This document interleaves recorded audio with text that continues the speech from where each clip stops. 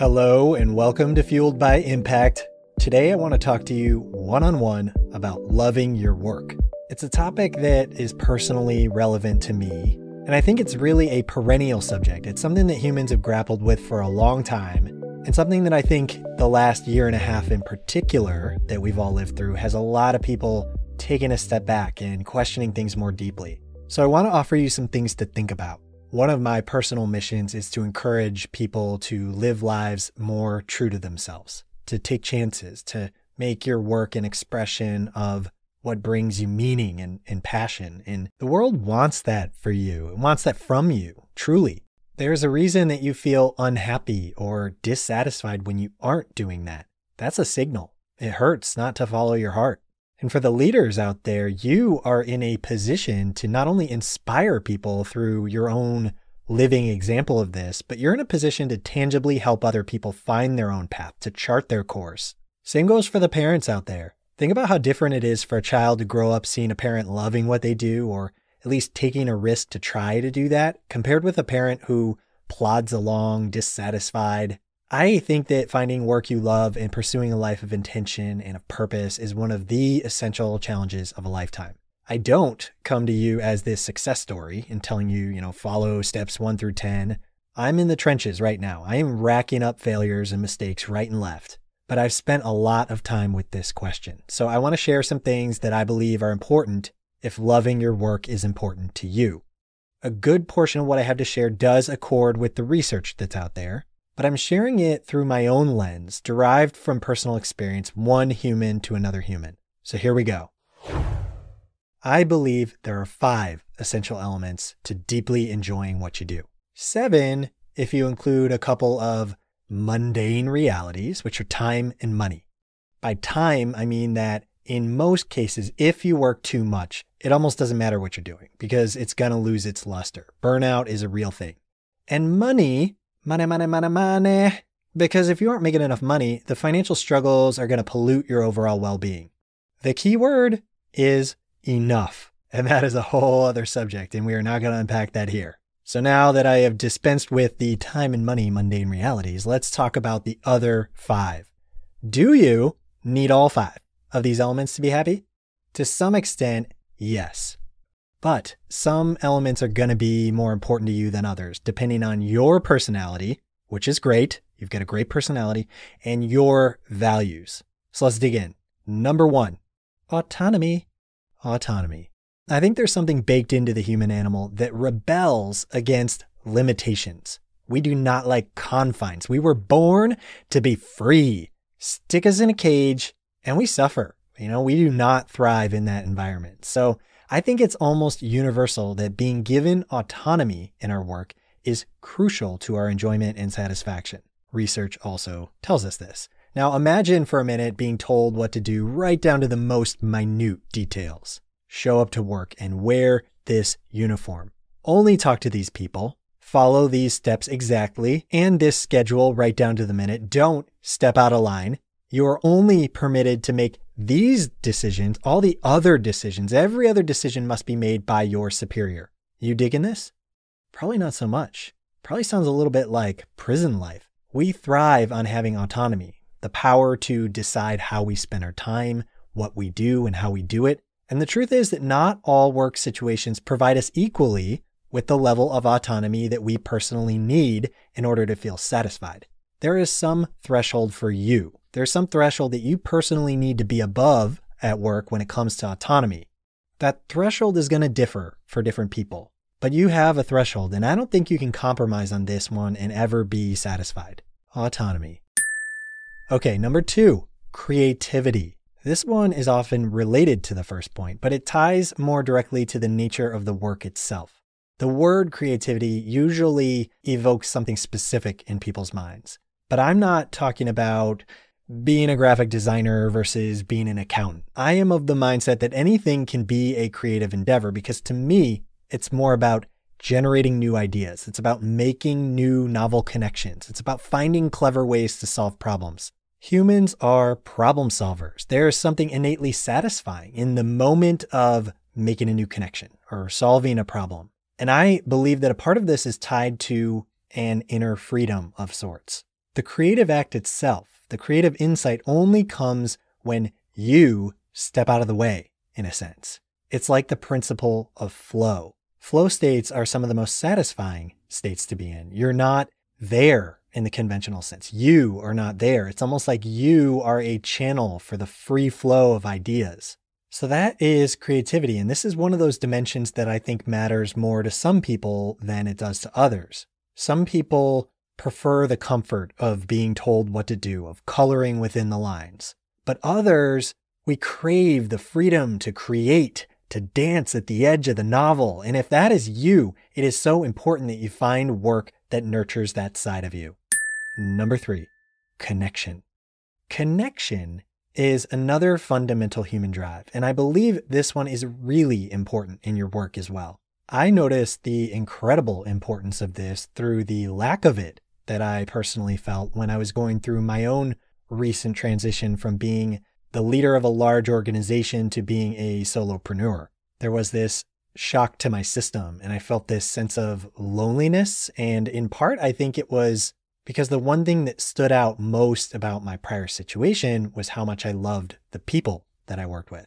I actually think a lot of people experienced something similar to what I experienced during the pandemic because it negatively impacted true connection. I personally suspect that the spike in remote workers and hybrid workforces is going to have some consequences on this dimension. Zoom, Teams, and so forth. I mean, they're a great addition, but they're not a total substitute.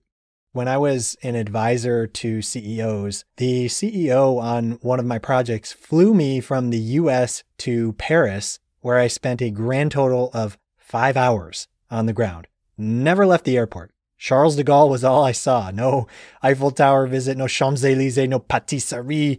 Just five hours on the ground in an airport in order to meet with a board member face to face because it was a really important relationship to cultivate. It's not because this was before the era of Zoom.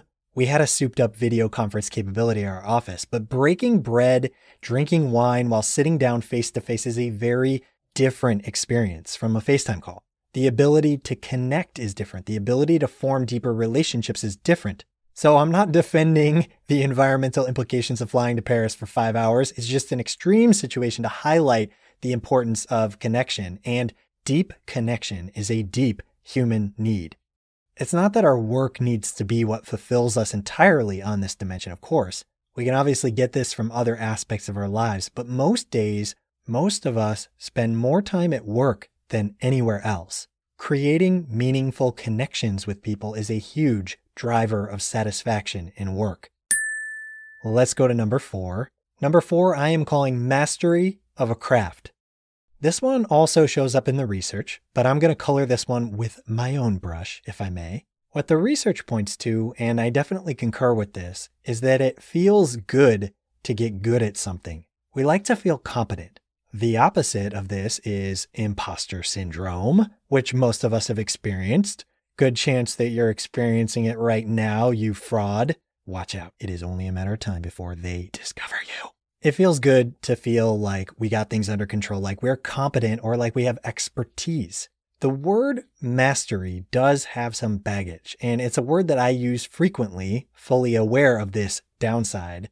The point is not that you need to be a master to feel satisfied. The satisfaction comes with the learning and growing itself. There's inherent satisfaction in the process of mastering a craft. When you can love the process of getting better at a thing and you genuinely feel like you are becoming more competent, more of an expert, and so forth, this tends to translate directly into your enjoyment of that endeavor, provided that it's a craft that you inherently enjoy. In other words, it has to align with your unique gifts, your talents, your interests in the right way. If you enjoy numbers, you may enjoy mastering the craft of financial modeling or accounting or theoretical mathematics. If you don't like numbers, those ain't your craft, comrade. Probably seems obvious enough, but the truth is that this topic is not an obvious one for most people.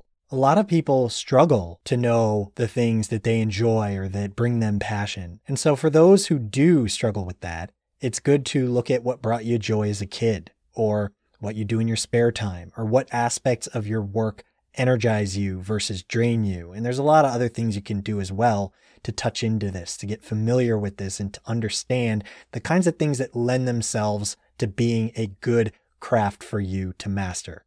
But it pays to do this because if you can find a craft that you genuinely enjoy putting in the time to gain skill and expertise, you have checked this all important box number four on my master list. Number five, let's talk number five. Number five, I call this one impact. And then I will promptly asterisk, ast- asterisk. That is a hard word to say sometimes. Asterisk this word and bust out my paintbrush and do a little painting. So, impact, this final element of loving your work, it has to do with how your work impacts other people. Do you feel like your work is important?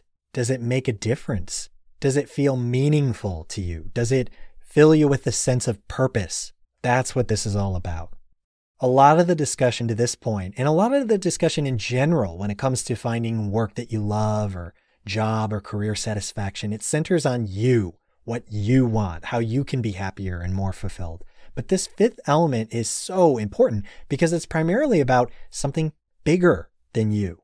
And anytime we shift our focus away from our own self concern, instead of that having the consequence our fearful self expects, like if I don't focus on myself, things aren't going to work out to my benefit. Instead of that, the opposite usually happens. We actually feel happier, we feel more fulfilled. It's this strange but wonderful paradox that the wisdom of the ages and research from modern day both demonstrate over and over again. And your experience does as well, your own experience here. We feel our best when we're focused on serving or helping other people. And that's the essence of this fifth element. So that rounds out our list. So now I want you to imagine for a moment that each day you wake up you roll up your sleeves to do your work, and that work has these characteristics. You get to decide what you work on and when and how you do it. You get to be as creative as you wish. You get to try new things or find new ways to do things, creating things to share with the world. The work also allows you to have meaningful connections with other people. You get to form relationships that matter in the context of this work and you enjoy the process behind the work. You love mastering the craft itself of learning, of growing, of building this specific expertise, of employing certain talents that you have, of sharing your unique gifts. And your work matters. It positively impacts other people. It brings real value to those around you in a way that you can tangibly feel, that you can clearly see. And oh, by the way, the work provides you with financial sustenance without requiring you to burn yourself out or sacrifice other important priorities in your life. Sounding pretty good, right? I think we're on to something, Michael. Yes, yes, we are. All right, now if you find yourself in a situation where you're feeling dissatisfied or unhappy, take some time to evaluate how well your situation rates on each of these elements. This reflection may help you uncover ways in which you can begin to improve your situation right now, because often there are things that you can do to flex up on these dimensions, even within the confines of your current situation. And that is actually a subject we can dig into another time. Alternatively, if you're in this unlucky, hopeless sort of situation where things just aren't going to get better, you're not able to really influence these dimensions, then this reflection can serve you as a guide for evaluating your next steps. If you are a leader of other people, I encourage you to take some time to reflect on how you can help foster these dimensions with your team. I haven't gone into any depth here on the leadership angle of this, but I'd like to start workshopping this more with leaders and potentially with their teams. All right. So, those are some of my reflections on this topic. If you enjoyed this, if you got any value out of this, please consider sharing this with someone that you feel may benefit, particularly someone who may be struggling with dissatisfaction in their work or someone in a leadership role who has the capacity to influence the fate of many other people. We really need to wake as many people up to this as possible if we want to cure this epidemic of workplace malaise. Am I right? I can't hear you. Literally, I can't hear you, obviously, because it's a podcast. If you're interested in diving deeper on this one, I would encourage you to sign up for my newsletter. In addition to various articles and musings, it's the surest way to get notified when I release my upcoming books and audiobooks, one of which may be a deep dive into this very subject. Go to mikekav.com for that. That is M I K E K A V.com. Yeah. And I'm always interested in hearing your thoughts. Don't be shy. Thanks for listening.